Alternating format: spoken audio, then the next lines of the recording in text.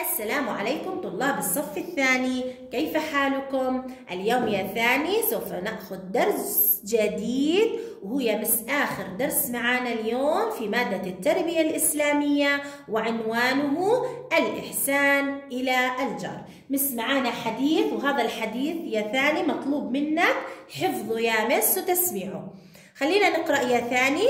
قال رسول الله صلى الله عليه وسلم ليس المؤمن الذي يشبع وجاره جائع إلى جنبه. راح أرد أعيد. ليس المؤمن الذي يشبع وجاره جائع إلى جنبه. مس هذا الحديث بيتحدث يعني إذا كان عندنا مثلا جارك فقير أو جارك بحاجة يا ثاني. إنه بيحكي لنا الحديث المؤمن يا ثاني. ما بيصير هو إنه يشبع بيكون شبعان وفي إله جار أو بيعرف حدا جوعان. فأنت يا ثاني آه نتخيل حالنا بس إحنا بالصف. أنت معك مثلا آه سندويشتك أغراضك آه مصروفك واشتريت يا ثاني وكان زميلك اللي بجنبك ما معاه مصروف نسي مصروفه لنفرض وما معاه إشي يأكله. أنا باكل يا ثاني وبدشر زميلي. أنا بعرف طلاب الصف الثاني طلاب الحلوين. إيه الله يسعدهم يا رب. وإن شاء الله نلتقي عن قريب يا ثاني. إيه هم ما بيتر ما بيترك زميله. إيه جوعان صح يا ماس؟ إيه بطعم زميله بيقسم له نص سندويشته أو بيعطيه أشياء معاه بحيث إنه أنا صديقي أو زميلي ما يظل جوعان. صح يا ثاني اذا مثل الحديث حديثنا ليس المؤمن الذي يشبع وجاره جائع إلى جنبه. مثل هذا الحديث بحث أو بيحكي بيتحدث عن الجار يتحدث عن الجار. فإحنا يا ثاني الرسول صلى الله عليه وسلم حكى لنا إنه لازم إحنا نتفقد جيراننا ونطمئن على أحوالهم صح؟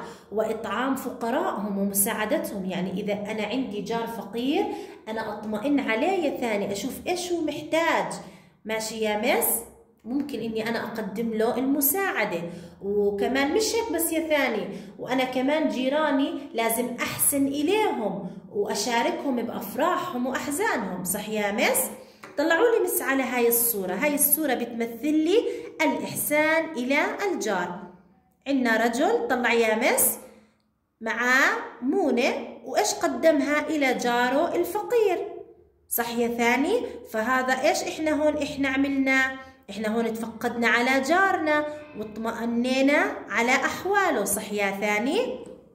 إذا الإنسان المؤمن يا مس ما بصير يشبع وينام ويترك جاره اللي بجنبه وعارف إنه هو فقير ومحتاج وإنه هو جوعان هو وأولاده يا ثاني. ماشي يا مس؟ طيب نفتح على صفحة 62 يا ثاني. خلينا نجاوب على الأسئلة. ضع دائرة حول رمز الإجابة الصحيحة. يحثنا الحديث الشريف على الاهتمام به. على إيش حثنا الحديث الشريف؟ ليس المؤمن الذي يشبع وجاره جائع إلى جنبه. على إيش بحثنا؟ على أقاربي ولا جيراني ولا أصدقائي؟ برافو على جيراني. إذا الحديث الشريف يا ثاني بحثنا على الجيران على الاهتمام بالجار وخاصة إذا كان الجار فقير. طيب اثنان املأ الفراغ بما يناسبه من الكلمات. عندنا جائع شايفين الصحن فاضي.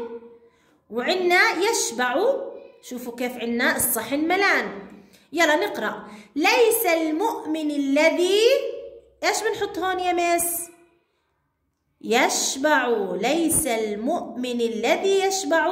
وجاره جائع إلى جنبه يا مس ماشي يا ثاني؟ إذا معانا الحديث يا ثاني حفظ يا مس والرجاء تسميعه يا ثاني.